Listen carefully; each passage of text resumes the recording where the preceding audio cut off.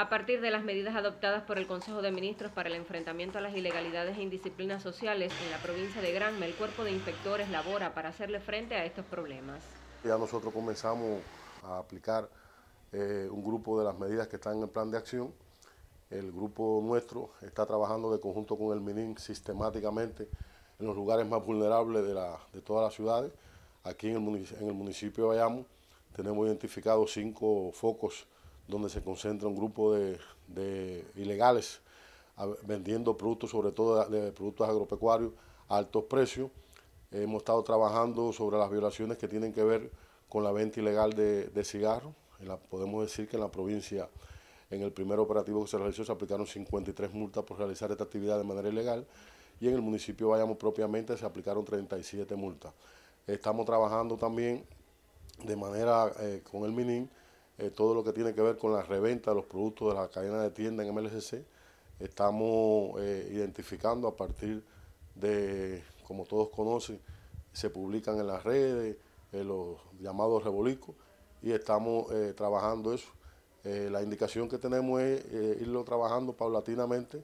de manera tal de que se vaya accionando sistemáticamente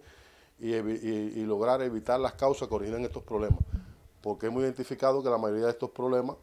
eh, se manifiestan a partir de la falta de control que existe en entidades administrativas, porque estos recursos salen de, de las entidades administrativas. Asimismo, hemos estado trabajando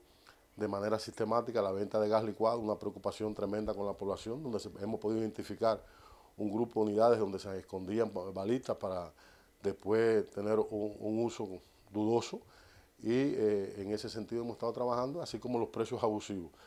Los organismos e instituciones deben tener una mayor responsabilidad para evitar la ocurrencia de este tipo de hechos y fortalecer los mecanismos de control. Cada organismo tiene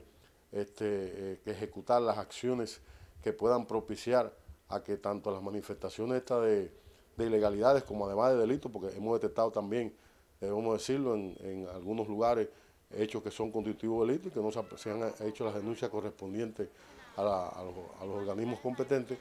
y eh, cada organismo tiene que trabajar sistemáticamente. El sistema de trabajo eh, semanalmente nos está moviendo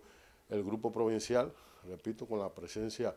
eh, del, gobernador, que es quien preside este grupo, y un grupo de más de, factores, llámese Fiscalía, el MININ, la, propia Contraloría y otros organismos, para ir viendo, eh, como se decimos muy común, corrigiendo el tiro y ver las acciones a partir también de la identificación y las denuncias que hace la población Hemos estado trabajando mucho con, el estado de opinión que hace la población por la vía del, partido y sin duda eh, tenemos que decir que todavía se aprecia una cantidad eh, importante de ilegalidades que, como se indicó, la provincia va a hacer todo lo que sea posible para erradicar estas manifestaciones que tanto, que tanto laceran la tranquilidad de nuestro querido pueblo.